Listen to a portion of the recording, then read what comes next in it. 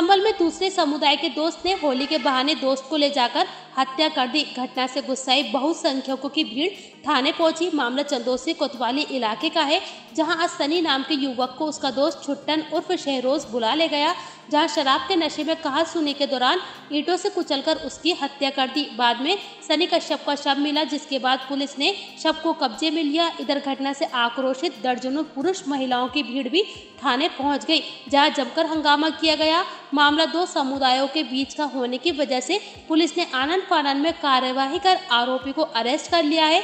इस मामले में एक साधु वेशधारी भी पुलिस के कब्जे में है। एसपी चक्रेश मिश्रा ने हत्यारोपी की गिरफ्तारी की पुष्टि की है।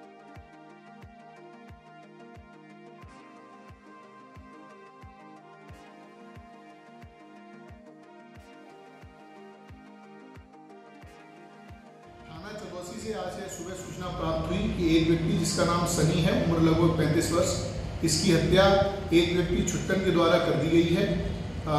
इन दोनों के बीच में शराब पीने के पश्चात आपस में किसी बात को लेकर विवाद हुआ और मौके से ही जो अभियुक्त है, उसको गिरफ़्तार किया गया है।